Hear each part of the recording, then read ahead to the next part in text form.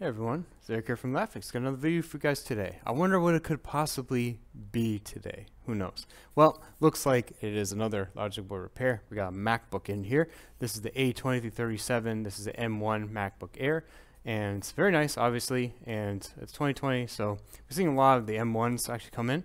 Recently, they have a lot of problems, right, with them, and for some reason, it's not charging. So we want to actually see what the issue is for it. So let's plug this in, see what our readings are. Okay, so we put in a 1, and what we're probably looking for is about like right 20 volts and then some ampage there. That would be nice. But we're getting about uh, four, well, almost 5 volts and about 0.45 amps. And let's plug it in the other one and see if we get the same thing, because that can mean something if it's not. So plug it in here, and so we get a lesser reading there. So the current is a little bit different, right? So we get um, about the same voltage looks to be about the same. That that could fluctuate and but the current is a lot less, so it's about 0.13. So let's try it one more time, just to make sure. See if it doesn't change or, okay. It's about 0.45, so that one is about the same there, and let's plug it in one more time over here. What's going on?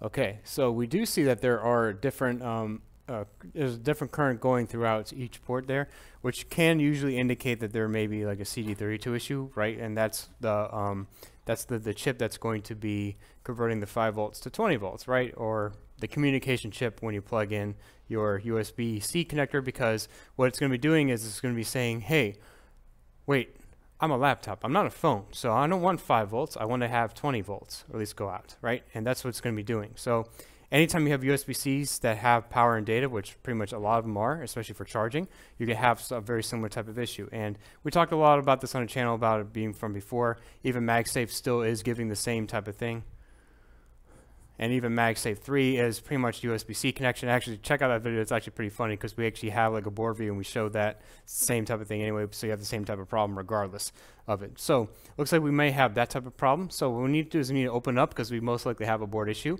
And uh, let's take a look and see what's going on. So before we go too into it, let's just see uh, by removing the battery, see if the voltage changes or any behavior changes, right?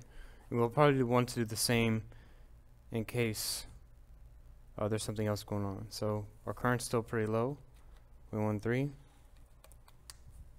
and let's see, but the same. Okay, so almost no difference there.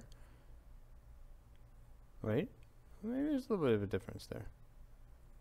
5 volts 0.20. So the current did change a bit, um, but still, it's cycling between two different ports there a little bit differently. So we're going to remove the board completely, obviously, and let's take a look. What we want to do now, let's do a nice little inspection, make sure uh, there's no liquid damage or anything else. Um, it would be nice to see if there was something under here, it would be pretty obvious, um, or something there, but who knows, sometimes it could be a little speck or a little spot somewhere else, and then um, I guess we can check maybe with thermal cam if we don't see anything else there. But nothing super obvious, looks like a pretty clean M1 board though. So let's go into microscope. And usually these ones we don't really see obvious damage on them. They come in a lot with um, shorts himself. So nothing crazy, and there's not a whole lot even to look at there. Taking a quick look at it. Maybe I have to remove the heatsink because there's more actually under there. Um, we don't see anything crazy. We did a quick visual inspection. So let's go under the thermal cam, and we're gonna see if we see anything obvious there to at least give us some type of hope, right? So looks like uh, we have two areas of our CD32 getting warm. But this is a pretty good indicator here. We see on the bottom one. So what if we switch, right? Because these are your CD32s. You need both of them to work for this thing to work, to turn on anyway. Um, so it's going to just die. There you go. So let's plug it in the, the other one, and let's see if it changes any behavior.